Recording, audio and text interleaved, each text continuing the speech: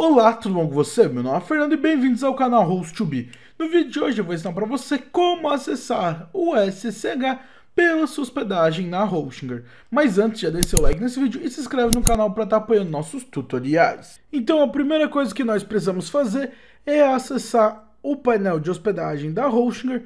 Para isso, já estamos aqui no site do hostinger.com.br e vamos acessar a nossa conta. Então, para acessar a nossa conta, nós iremos no lado da direita superior e iremos clicar no botão entrar e acessaremos nosso e-mail e senha. Após realizar o acesso do seu painel de hospedagem, você estará na aba início dentro aqui do painel da Hostinger e o que iremos fazer é vir na opção de hospedagem, onde vai ter o seu plano de hospedagem contratado e você vai no lado da direita clicar no botão gerenciar. Então basta clicar com isso será aberto o painel de controle da Hostinger e o que nós iremos fazer aqui é vir no lado esquerdo no menu lateral até a opção abaixo escrito avançado. Então nós iremos clicar ao clicar em avançado, ele vai abrir um novo submenu e aqui logo no começo vai ter uma opção chamada acesso SSH. Então nós iremos clicar nele. E ao clicar ele vai abrir a página de acesso do SSH e para Realizar o acesso do SSH no seu computador. É muito simples, então o que iremos fazer aqui na página de acesso SSH, primeiro é vir no lado da direita,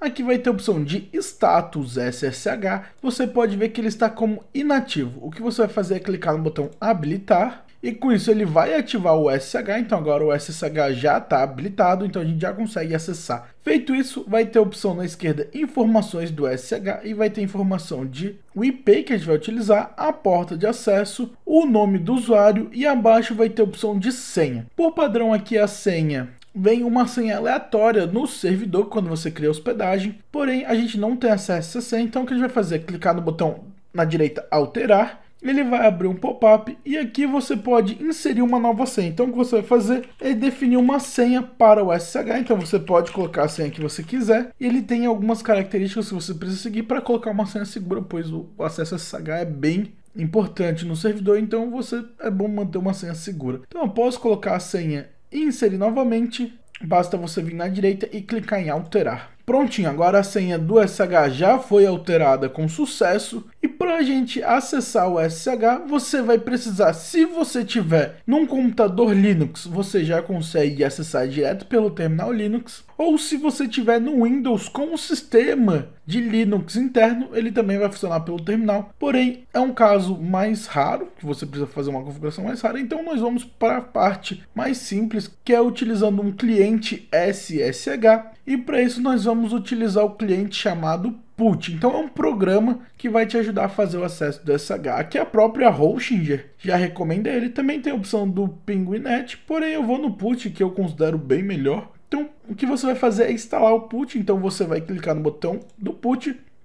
Ele vai abrir uma nova página chamada Download Put e nessa página vai ter a opção do pack de files e vai ter a opção MSI e aí vai estar entre aspas Windows Installer e você pode baixar 64 bits ou 32 bits, então basta baixar e após ele vai fazer download, você clica no programa que ele vai fazer download e ele vai instalar rapidinho no seu computador, instalação simples. E eu já deixei o put aberto aqui no meu computador, então o que eu vou fazer? Voltar para Hostinger e aqui então na Hostinger o put já está aberto e o que nós vamos preencher é o seguinte. Nessa parte onde ele está pedindo hostname, nós vamos colocar o IP, então aqui vai ter o IP, e no campo onde está escrito port, nós vamos colocar a porta. Então eu vou vir aqui na Hostinger, na opção IP, ele já tem um botãozinho para copiar, então só vou copiar o IP, Vou vir na Hostinger no campo hostname e vou dar um Ctrl V para colar. E agora já colou. E onde está aqui a opção de porta, por padrão vem como 22, que é a porta padrão do SH na média de servidores, mas na Hostinger é diferente. E eu vou colocar o que está aqui em porta. Então, no meu caso, a porta é 65002. Então, vou colocar 65002, que é a porta. Abaixo tem a opção Connect on Type. Vamos deixar na opção SSH e agora nós vamos clicar no botão Open. Então basta clicar. Em seguida vai ser aberto um terminal e aqui a primeira vez que você conectar ele vai dar uma mensagem falando de put security alert. Que você vai fazer é simplesmente clicar no botão accept para aceitar. Prontinho, após aceitar agora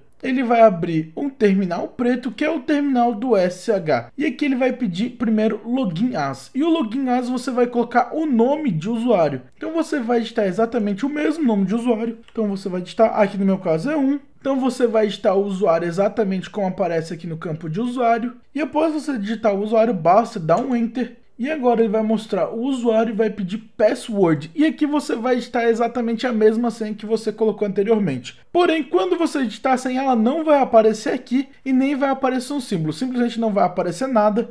Porém, se você digitar a senha e depois dar um enter, vai funcionar. Então eu vou digitar aqui a senha, por exemplo. Estou digitando, você não consegue ver a senha, pois ele não mostra, mas eu digitei a senha, agora eu vou apertar no enter. Ele vai pular de linha e ele vai conectar com o SSH. Então com isso prontinho, agora ele conectou no SH com os dados de acesso da Hostinger. Então aqui vai ter o seu painel SH bem simples, ele já está conectado. Então você já acessou corretamente o SSH da Hostinger. Se você der alguns comandos, ele vai mostrar. Então vou dar um comando ls para listar. E agora ele já mostrou os arquivos do meu servidor. Então se eu der um cd para acessar a pasta public underline html, Posso dar um Enter, ele vai acessar a pasta, vou dar um ls para ver os arquivos, ele vai mostrar os arquivos que estão dentro do meu servidor e agora você já tem acesso total ao SH da Hostinger. Aqui no SH da hospedagem ele não tem acesso root, então se você precisar fazer alguma configuração que precise do root ou do comando sudo, não vai funcionar, pois esse SH não permite utilizar